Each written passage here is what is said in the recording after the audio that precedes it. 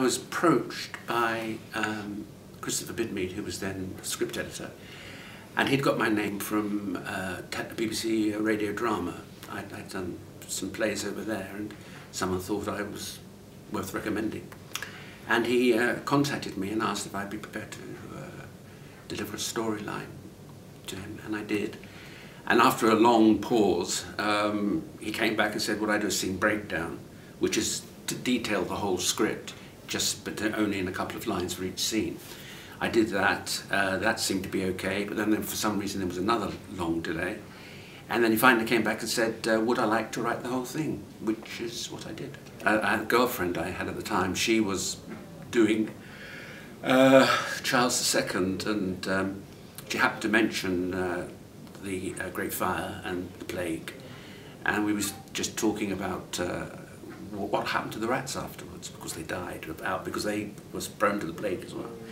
And I thought that might be an interesting idea for a science fiction thing of how someone comes back. And then the Doctor Who bit just slipped in around it. You've got to bear in mind that uh, you've got a six-day studio. In our case, I think we had five and a day's location.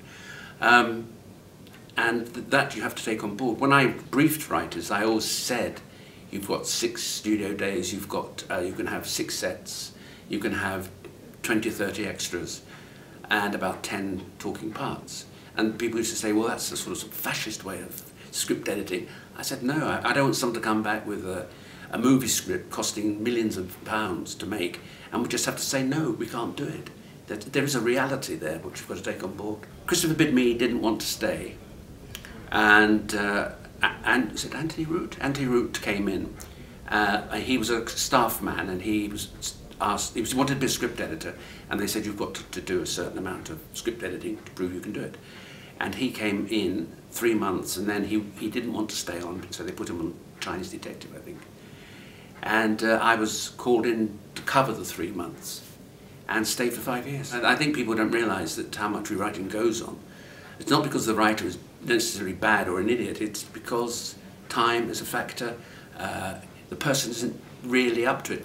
I was talking to uh, Steven Moffat the other day, and we, he, was, he was saying about commissioning uh, writers and how difficult it is, and he named several that, I won't tell you who, who are quite well known and have tried and failed dismally. Now, it isn't because they have the skills. I think it's they haven't got the overall, be able to take the concept on board and do it with a bit of thrust and energy. I just don't think they, they can get their mind around the concept of what they're doing, of, of a, a, Time Lord, of, of, of people travelling in time and space. And, and some, because some, most of them have, have done stuff that's set in London, you know, um, open, internal, uh, whatever it is, uh, kitchen in terraced house.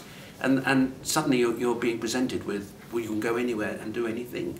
And some of them just can't manage it. Having said that, when I did a, um, a visitation, not visitation, Earthshock, I, um, I, try, I wanted to make a movie. See, I, I wanted it to be as fast and furious as it could. I didn't say anything to John. I didn't say anything to Peter Grimwade, who finished up directing it.